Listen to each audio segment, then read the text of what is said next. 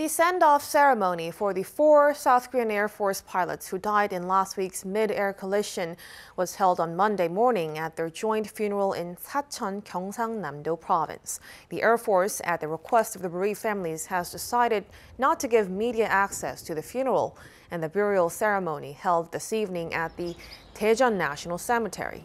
On Friday, two KT-1 trainer jets, each carrying a trainee pilot and a flight instructor, collided mid-air and crashed near the Air Force's third training wing in Sacheon, killing all four aboard.